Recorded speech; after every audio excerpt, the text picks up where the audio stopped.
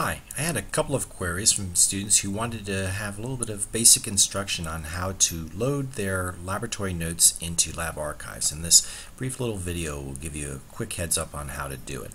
Uh, first you'll want to log into your LabArchives account and bring up your notebook and I have a copy of my notebook right here. You'll then want to go to your email where you have received your scanned documents. Here are my scanned documents right here.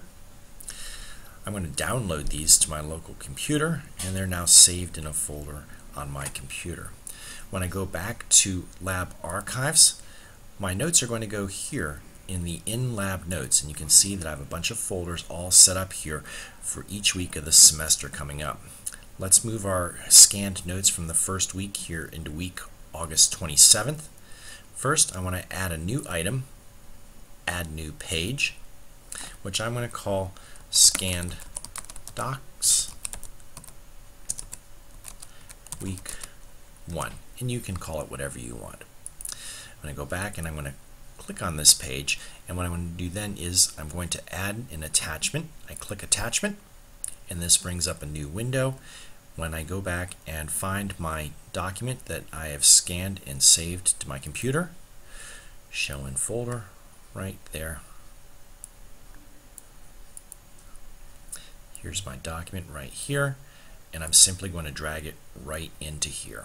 It's now been dragged into and uh, ready to add to my scanned notebook. I finally hit Save Page, and my scanned notes are visible right here. We go back here and we click this page, you can see my laboratory safety document has been added. Let's look at the after lab questions real quick. They are also in LabArchives close that down here and we can see after lab questions and I've added them already for lab number one.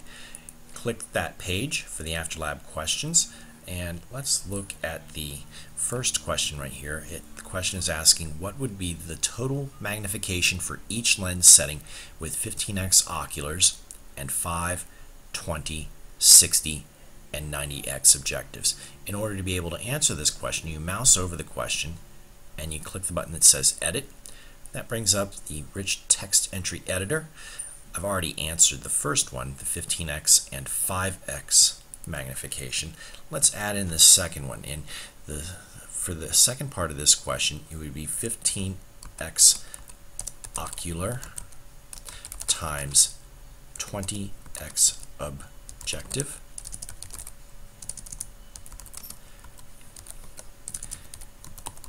equals 300x total magnification.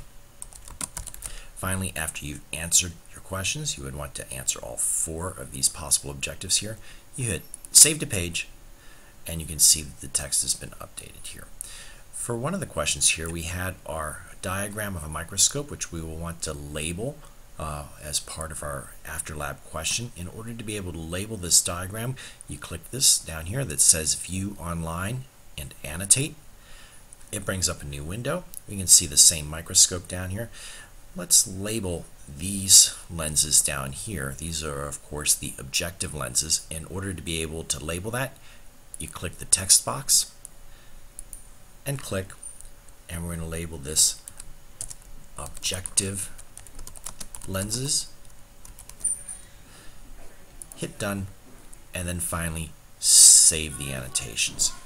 We can then close out this window, bring back our notebook, and when we reload the page,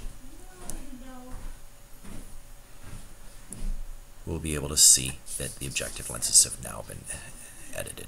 Uh, if you have any other questions, feel free to contact me via email or catch me after class and I'll be able to go with through you again.